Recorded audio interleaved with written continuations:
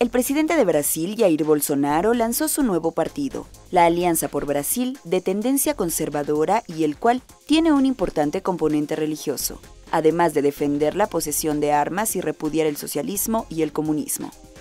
El nuevo partido del mandatario brasileño defenderá además la libre empresa y se opondrá al aborto, la llamada ideología de género en las escuelas y lo que ha calificado como ideologías dañinas como socialismo, comunismo, fascismo nazi y globalismo, reportó el diario local Fola de Sao Paulo. Asimismo, el programa de gobierno del nuevo partido destaca el lugar de Dios en la historia y puntualiza que el secularismo del Estado nunca ha significado ateísmo obligatorio.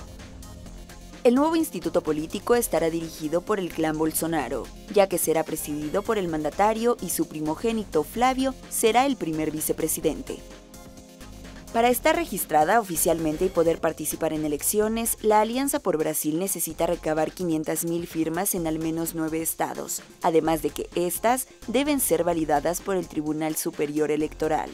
La alianza tiene de plazo hasta marzo próximo para que pueda registrarse en el Tribunal Superior a fin de participar en las elecciones municipales de 2020.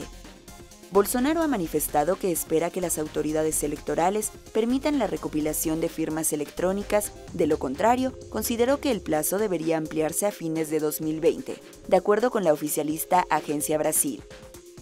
La presentación del nuevo instituto político se produce luego de que Bolsonaro anunció el pasado 19 de noviembre su salida del Partido Social Liberal, que lo llevó a la presidencia en 2018.